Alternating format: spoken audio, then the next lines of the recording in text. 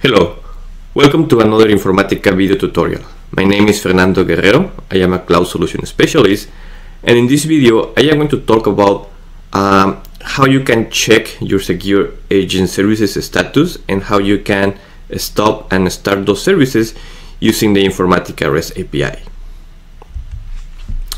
The first thing that we are going to talk is why is it useful to be able to check the secure agent services status and to stop and start them uh, using the REST API? After that, I will proceed to show you a little demo how to do that. And at the end, I will show you links to our documentation.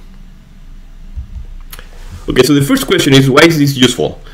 Well, you don't need to be all day monitoring your uh, your agent. Just imagine uh, you need someone 24 hours, seven days a week to be able to to look at the uh, the agent status, and if something happens, they need to take actions. Well, if you have REST APIs, you can automate all that. You can have your um, code or your tool that is going to be sending this API request to check what is the current status. If everything is running fine, you don't need to do anything else.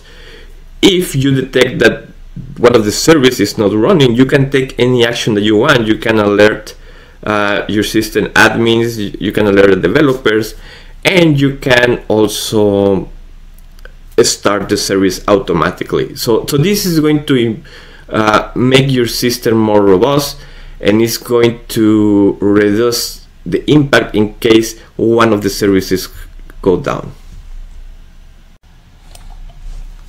So now we are going to do a little demo so you can see which API calls we use and what kind of information they provide. So the first thing is like you need to log in.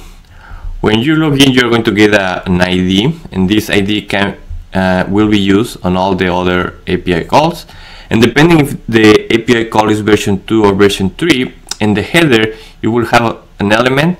If it's version 2 it's going to be called IC session ID but if it's version 3 it's going to be called infa session ID it doesn't matter which name you use the value is going to be the same. It works for both of them so you don't have to worry about it. So the first API that we're going to use uh, is the one to check what is the status of our agent. And this API uh, offers different options. We can list all the agents that are running in our organization and just general information about that agent. You're gonna be you are not going to see each of the services, just general information. You can display only general information about your your agent and you can do it by ID or by name. And one the one that we really care right now uh, for this demo is you want the details for one specific agent and you will by by id or you can do it by name. Uh, because when you choose the details this is going to tell you all the services that are running in your in your agent well, and the status of those of those services. So we come here and uh, it's gonna call this API okay? So I am calling it I have here the response, the general information about the agent is active. Uh, it's true because right now, if you see my agent, everything is is it's working, it's running. And then here the detail. This is where you're going to see each of the services. For example, we have common integration components, and you see here, and the status is running. Then we have more information about that um, service, but right now that's out of the scope so we, we really don't care. I am going to minimize so we will go here see that's another service data integration server. We see it here and the status you can see that is it's running.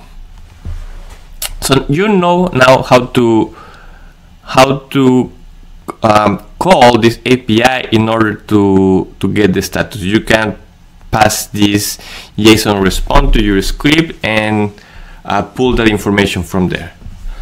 Okay, but what if you want to take actions, if you want to stop or restart services? Well, uh, the first thing that you need to do is you need to look up for the object ID that represents your, your secure agent. and that ID is not the same ID that we use here. So that can be a little confusing, but just keep in mind those IDs are not the same. Um, so we have another API call, call it lookup.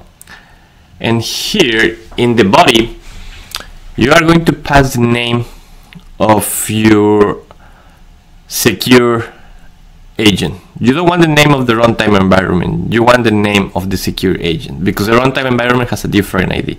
So we want just uh, the name and when we specify that this object, that's the name of the object and it's a type, it's an agent. So we run it and it's going to give us a specific ID. And this is the ID that we are going to use when we want to stop or start services in, in our agent. So now let's go to uh, to this API call to change the status of the services. And here uh, in the body, you need to specify which service um, you want to modify the status. And the name of the service is exactly the name that you see here uh, on your screen, in the administrator screen. Uh, so right now I want to change the status of mass ingestion. If you see mass ingestion is actually right now running, so I want to stop it. I have here the agent ID. This is the ID that I got in the lookup query uh, call. So now I am going to send this request and service state need to stop. It was successfully. So now let's come here we, and I am going to refresh and we are going to see if this status change or not. So if I refresh this screen, we can see now this one was stopped. Uh, now I want to start this one.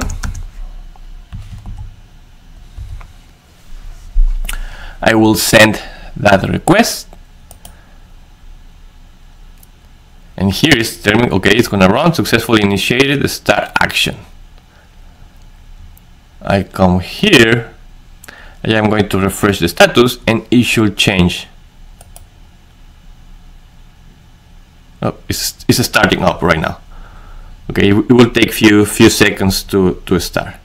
But this is a way that you can use our APIs to automate uh, your monitoring and to take actions uh, based on the status that, that, you have, and it's going to it's going to make your system more robust. If you want to know more about the Informatica REST APIs, you can visit the website. Here I am posting the links to the APIs that we use during the demo, but you can see the entire list of available APIs. If you have any feedback, you can send us a message to our email or to our Twitter account. Thank you very much for your attention.